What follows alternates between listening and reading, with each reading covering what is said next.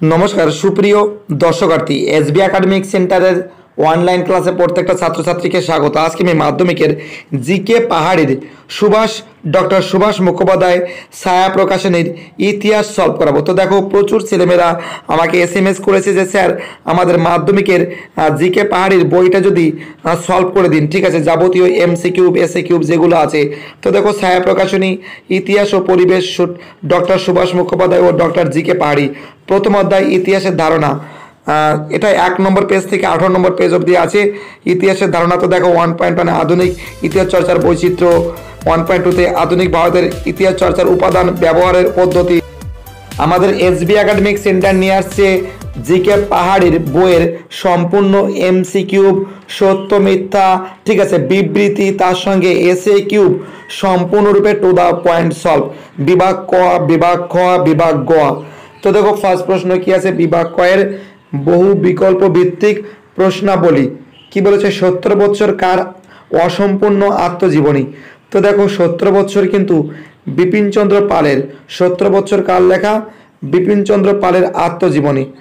আর বাকি যেগুলো আছে, যেমন রবীন্দ্রনাথের, তোমরা তো জানো, জীবন স্মৃতি আছে সরলা দেবী চৌধুরানীর আছে, জীবনের ঝরা পাতা তো দেখো, এর ভিতর থেকে এর অ্যান্সার হবে ডি এর অ্যান্সার বিপিনচন্দ্র পাল। তো দেখো, দুই দাগের প্রশ্ন কি বলেছে? সাব অল্ট্রান গোষ্ঠীর এক প্রসিদ্ধ ঐতিহাসিক হলেন। তো দেখো এর অ্যান্সার হবে ডক্টর রণজিৎ গুহ মানে ডি এর অ্যান্সার হবে রণজিৎ গুহ। তো দেখো সাবল্টন মানে কি? নিম্নবর্গীয় ইতিহাস। সাবাল্টন মানে কি? নিম- নিম্নবর্গীয় ইতিহাস। তো দেখো, এবার আমি বিভাগ খ সলভ করাবো। অতি সংক্ষিপ্ত প্রশ্নাবলী। তো দেখো ফার্স্ট প্রশ্ন কি বলেছে? এতে আছে, একটি বাক্যের উত্তর দাও। ফার্স্ট প্রশ্ন এক দাগে। ব্রাহ্মিকা শাড়ি পরার সূত্রপাত কোথা থেকে শুরু হয়? তো দেখো, এর অ্যান্সার হবে, তো দেখো আমি পেন দিয়ে মার্কিং করে দিয়েছি। কিন্তু বর্তমানে বাঙালি মেয়েরা যেভাবে শাড়ি পরেন, তা হলো ব্রাহ্মিকা পদ্ধতি। মূলত জোড়াসাঁকোর ঠাকুরবাড়ির অন্দরমহলের মহিলাদের অনুসরণেই অনুসরণেই উনিশ শতকে বাঙালি সমাজে এইভাবে শাড়ি পরার সূত্রপাত হয়। অর্থাৎ কোথা থেকে শুরু হয়েছিল? জোড়াসাঁকোর ঠাকুর পরিবারের এই অন্দরমহলে এই ব্রাহ্মিকা, ঠিক আছে, শাড়ি পরার পদ্ধতি কিন্তু চালু হয়েছিল। পরের প্রশ্ন কি বলেছে? পরের প্রশ্ন বলেছে, দু নম্বরের প্রশ্ন, ছেড়ে আসা গ্রাম কি ধরনের সাহিত্য? তো দেখো, ছেড়ে আসা গ্রাম, এটা কিন্তু একটা তো দেখো ছেড়ে আসা গ্রাম কি ধরনের সাহিত্য এর অ্যান্সার হবে? আত্মজীবনীমূলক, আত্মজীবনী ও স্মৃতিকথামূলক সাহিত্য। আত্মজীবনী ও স্মৃতিকথামূলক সাহিত্য। তোমরা তো জানো যে ছেড়ে আসা গ্রাম কার লেখা? তোমরা তো জানো? তোমরা তো জানো যে ছেড়ে আসা গ্রাম দক্ষিণারঞ্জন মুখোপাধ্যায়ের লেখা। দক্ষিণারঞ্জন মুখোপাধ্যায়ের লেখা ছেড়ে আসা গ্রাম এটি একটি আত্মজীবনী ও স্মৃতিকথামূলক সাহিত্য। এবার আমি বিদাগের প্রশ্নগুলো সলভ করাবো। ঠিক বা ভুল নির্ণয় করো। কি বলেছে এক দাগের প্রশ্ন? সোমপ্রকাশ পত্রিকাটি প্রথম প্রকাশ করেন দ্বারকনাথ বিদ্যাভূষণ। তো দেখো, এটা ঠিক আছে। সোমপ্রকাশ পত্রিকা আঠারোশো আটান্ন খ্রিস্টাব্দে দ্বারকনাথ বিদ্যাভূষণ কিন্তু এটি কিন্তু প্রকাশ করেন, এটি একটি সাপ্তাহিক পত্রিকা। অর্থাৎ এটা ঠিক আছে। দুদাগের প্রশ্ন কি আছে? খেলার ইতিহাস নিয়ে, খেলার ইতিহাস নিয়ে গবেষণা করেছেন কৌশিক রায়। তো দেখো, এটা ভুল আছে কারণ খেলার ইতিহাস নিয়ে গবেষণা করেছেন কৌশিক বন্দ্যোপাধ্যায়। কী হবে? এর অ্যান্সার হবে কৌশিক বন্দ্যোপাধ্যায়। মানে কৌশিক রায় হবে না, কৌশিক বন্দ্যোপাধ্যায় হবে। তো দেখো, এবার আমি সিদাগের প্রশ্ন সলভ করাবো। ক স্তম্ভের সঙ্গে খ স্তম্ভ মেলাও। তো দেখো কয় স্তম্ভতে কি আছে? এক দাগে আছে সরলা দেবী, চৌধুরানী অ্যান্সার হবে বি এর অ্যান্সার জীবনের ঝরা পাতা। দু নম্বরে কি আছে? রবীন্দ্রনাথ ঠাকুর অ্যান্সার হবে আমাদের ডি এর অ্যান্সার ডি জীবন স্মৃতি। তিন নম্বরে আছে দ্বারকনাথ বিদ্যাভূষণ, এর অ্যান্সার হবে এর অ্যান্সার এর অ্যান্সার সোম প্রকাশ।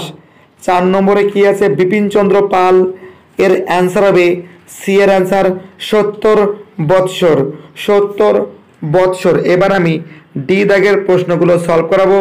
তো দেখো ডি দাগের ফার্স্ট প্রশ্ন কি বলেছে? এক নম্বরে, a history of Hindu chemistry গ্রন্থের রচয়িতা হলেন। তো দেখো, a history of Hindu chemistry গ্রন্থের রচয়িতা হলেন প্রফুল্ল চন্দ্র রায়। প্রফুল্ল চন্দ্র রায়। শূন্যস্থানে হবে প্রফুল্ল চন্দ্র রায়। দু নম্বরের প্রশ্ন কি আছে? উনিশশো এগারো খ্রিস্টাব্দে ড্যাশ ক্লাব, উনিশশো এগারো খ্রিস্টাব্দে ড্যাশ ক্লাব, আইএফএ শিল্ড যেতে অ্যান্সার হবে মোহনবাগান ক্লাব মোহনবাগান ক্লাব। এবার আমি ই দাগের প্রশ্ন সলভ করাবো। কি বলেছে? নিম্নলিখিত বিবৃতিগুলির নিম্নলিখিত বিবৃতিগুলির সঙ্গে সঠিক ব্যাখ্যাটি নির্বাচন করো। বিবৃতি কি বলেছে? ব্রিটিশ শাসনকালে সরকারি গোয়েন্দা বিভাগ নিয়মিত প্রতিবেদন তৈরি করে। নিয়মিত প্রতিবেদন তৈরি করে তা সরকারকে জমা দিত। তো দেখো, এর অ্যান্সার হবে, এর এর অ্যান্সার হবে ব্যাখ্যা খ। এর সাহায্যে সরকারি শাসন ব্যবস্থা সহজ ও সাবলীল হতো। এবার আমি বিভাগ খ সলভ করাবো। সংক্ষিপ্ত প্রশ্নাবলী, দুই থেকে তিনটি বাক্যের উত্তর দাও, যার নম্বর থাকবে দুই করে, ঠিক আছে? তো দেখো, এক নম্বরের প্রশ্ন কি বলেছে? কোন কোন বিষয় স্থান লাভের ফলে আধুনিক ইতিহাস চর্চায় বৈচিত্র্য এসেছে? তো দেখো, এর অ্যান্সার হবে। এর অ্যান্সার এক নম্বর পেজে আছে।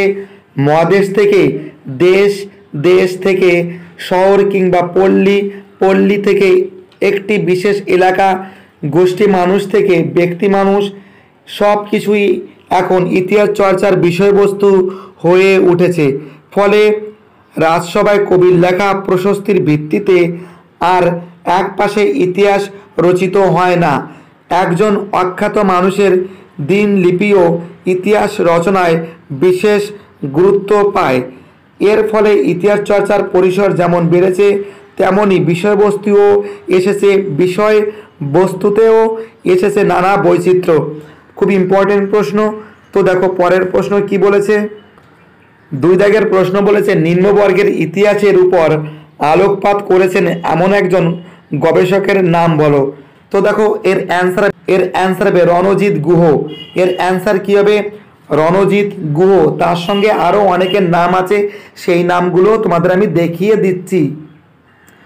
তো দেখো, রণজিৎ গুহর নাম তো দেখতেই পারছ, এবং ভারতের নিম্নবর্গের ইতিহাস চর্চা শুরু করেন, ঠিক আছে, এর সঙ্গে আরও অনেকে আছে, পার্থ চ্যাটার্জি আছে, জ্ঞানেন্দ্র পাণ্ডে আছে, শাহিদ আমিন আছে, সুমিত সরকার, দীপেশ চক্রবর্তী দীপেশ চক্রবর্তী, গৌতম ভদ্র, সুদীপ্ত কবিরাজ প্রমুখ। তো দেখো, এদের ভিতর থেকে সব থেকে মেইন হচ্ছিল রণজিৎ গুহ। ঠিক আছে, পরের প্রশ্ন কি বলেছে? দেখো, তিন নম্বরের প্রশ্ন, দুটি পরিবেশগত আন্দোলনের নাম লেখো। ঠিক আছে, তো দেখো, এর অ্যান্সার হবে, এর অ্যান্সার হবে চিপকো আন্দোলন এবং নর্মদা বাঁচাও আন্দোলন। ঠিক আছে, এই দুটোর নাম লিখলে হয়ে যাবে। এই দুটো হচ্ছিল পরিবেশ পরিবেশগত আন্দোলন, ঠিক আছে? এই দুটো আন্দোলন হচ্ছে আমাদের পরিবেশ বিষয়ক আন্দোলন। তো বুঝতে পারছ আমি কি বলছি? প্রত্যেকটা প্রশ্ন খুবই গুরুত্বপূর্ণ এবং প্রত্যেকটা প্রশ্ন খুবই ইম্পর্টেন্ট দুটি পরিবেশগত আন্দোলনের নাম কি? এর অ্যান্সার হবে চিপকো আন্দোলন এবং নর্মদা বাঁচাও আন্দোলন। চিপকো আন্দোলন উনিশশো চুয়াত্তর খ্রিস্টাব্দে হয়েছিল এবং নর্মদা বাঁচাও আন্দোলন উনিশশো পঁচাশি খ্রিস্টাব্দে হয়েছিল। এই দুটি হচ্ছে পরিবেশগত আন্দোলন। ঠিক আছে? পরের প্রশ্ন কি বলেছে? চার নম্বরের প্রশ্ন, খাদ্য সংগ্রহ মানুষের খাদ্য উৎপাদকে রূপান্তরিত হওয়া ইতিহাস চর্চার গুরুত্বপূর্ণ কেন? ইতিহাস চর্চায় গুরুত্বপূর্ণ কেন? তো দেখো, এর অ্যান্সার হবে অ্যান্সার হবে আদিমকাল থেকেই খাদ্যাভাসের বিবর্তন ও চলছে।